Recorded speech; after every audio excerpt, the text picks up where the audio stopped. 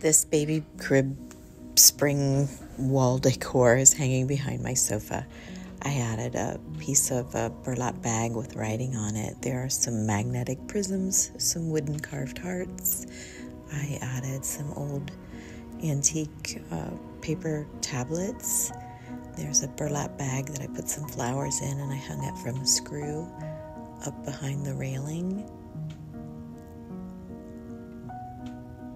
Change these out all of the time.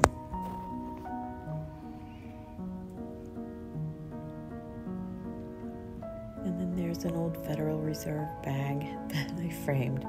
It said not to cut, but I cut it anyway. It's old. There's an old key, and then there I just stick two screws out of the wall and set it right on those screws. It's been there forever, and I love it.